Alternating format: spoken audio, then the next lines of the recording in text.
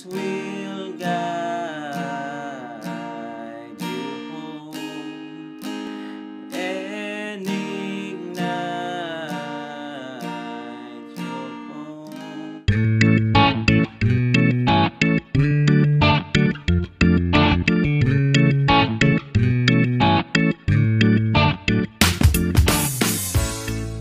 Hello guys, so welcome sa ating bagong video tutorial at tuturo natin sa inyo ngayon ay yung strumming version ng kantang Fix You ng Coldplay, okay? So kung gusto guys matutunan nyo yung plucking version nito, pwede nyo puntahan sa isang video natin para matutunan nyo rin yon, okay? So una nyo gagawin guys sa kanta na to ay ilalagay nyo yung mga kapos sa 3rd fret, okay? So 1, 2, 3, pang-apat na fret, okay? So kung wala naman kayong kapo guys, don't worry, weekly tayo namimigay ng kapo, so make sure na makasali kayo sa ating weekly giveaway para magkaroon din kayo ng kapo. Okay? So, yung mechanics para makasali kayo, nandyan sa link sa pin comment at sa baba. Okay? So, ayan. So, papaninig ko muna guys yung kanyang verse para ma-idea kayo kung natuturo natin, ha? So, dito yun sa... When you try your best but you don't succeed. Okay? So, dyan ang banda guys, no? So, paano yon? So, yung mga chords natin guys para sa verse ay C. Okay? C. And then E minor. And then A minor 7. So, yung A minor 7 guys, para siyang A minor. Pero tinanggal nyo tong third string. Okay? Yan. Tapos, G. G na apat na daliri. Pwede rin namang G na tatlong daliri lang. Okay? So, yan. And then, four times nyo lang gagawin yun, guys, kada verse. Okay? So, ganun nakadali yung mga verse, guys, no? So, paano naman yung strumming pattern niya para sa verse? Okay? So, ganito yung kanyang strumming pattern, guys, sa verse, no? So, halimbawa, nakasi kayo, kada chords ay isang strum down lang. Ayan. Tapos, lipat ng chords down, and then lipat ng chords down, and then lipat ng chords down. Okay? So, ganun siya. Pero may bilang yun, guys. Kada strum down nyo, ganito. 1, 2, and then lipat kayo. 1, 2, tapos 1, 2, 1, 2. Okay? So, ganun nakadali, guys, no? Or, pwede namang dalawang down yung inyong strumming pattern para hindi na kayo magbilang. So, 1, 2, 1, 2, 1, 2, 1, 2. Okay? So, ganun siya. So, pili na lang kayo guys sa dalawa kung anong gusto nyong strumming pattern. So, di ba? Sobrang dali lang, di ba? so, yan. So, nalaman na natin yung mga chords ng verse at saka yung kanyang strumming pattern. Eh, di kantahan na kagad natin siya para matutunan nyo. Okay? So, ganito siya, no? When you try your best but you don't succeed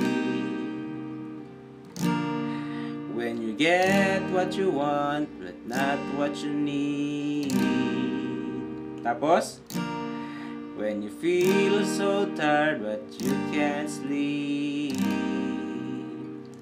Stuck in reverse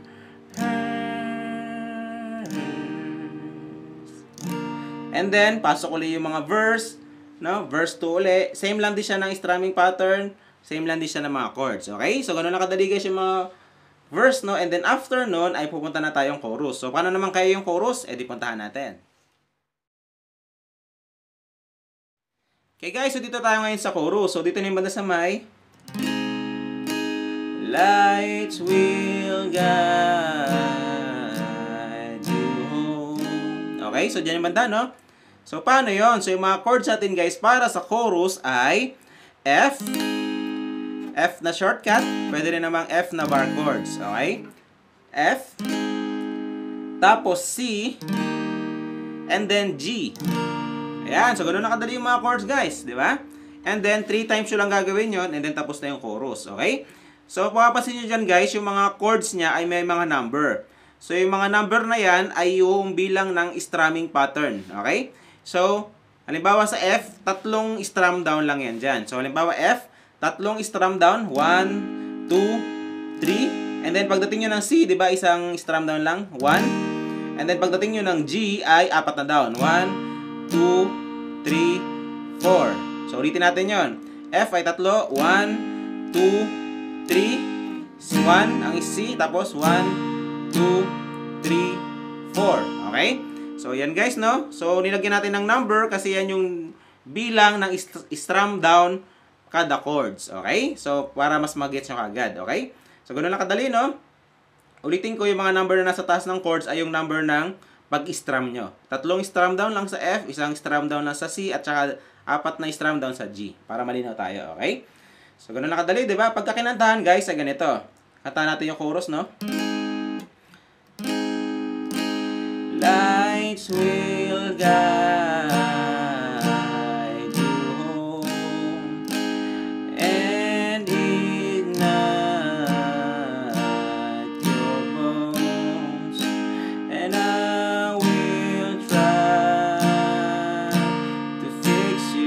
Tapos, babalik kayong mga chords ng verse. So, instrumental yan dyan. So, C, tapos E minor, tapos A minor 7, and then G, and then two times nyo lang gagawin yon tapos na yung instrumental, okay? And then, babalik na naman kayong verse, and then babalik kayong chorus, okay? So, ganun lang kadali yung mga chorus, guys, no? And then, after nun, ay babalik na kayong uh, verse, and then chorus, and then meron siyang bridge, okay? So, yung bridge, guys, dito na yung banda sa may stream down your face. Okay? So, dyan yung banda, no? So, paano yon So, yung mga chords na natin, guys, sa bridge ay C, tapos F, tapos C uli, and then G, tapos, yun lang. okay? So, four times yun lang gagawin yon and then, tapos na yung mga bridge. Okay? So, ganun nakadali, guys, no? Pero, ang strumming pattern na natin, guys, sa bridge ay apat na down. So, kada chords ay 1, 2, 3, 4. Tapos, lipat ng chord. 1, 2, 3, 4. 1. Okay? So, ganun lang kadali, guys, no? So, kapag kinanta natin yung bridge, ay ganito. So, para makuha nyo na talaga. So, ah... tear stream down your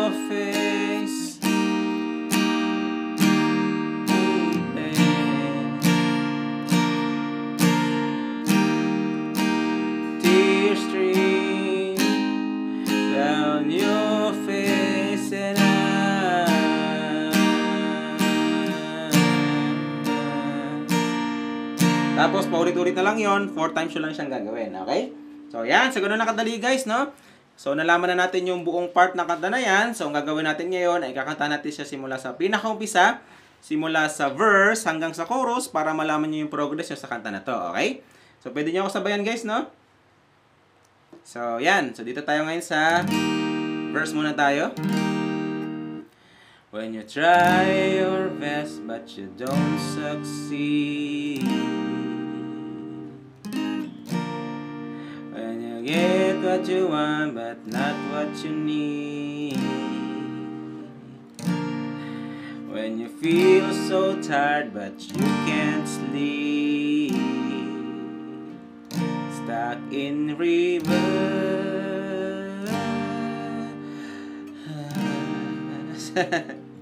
That's verse 2. Kanta natin yung verse 2, no? Tears come down your face lose something you can't replace When you love someone but it goes away Could it be worse?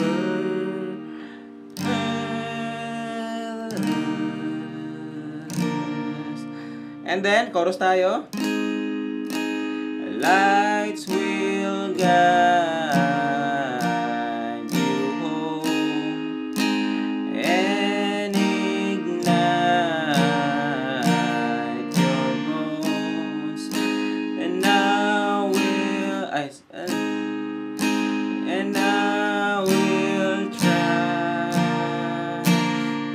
fix you.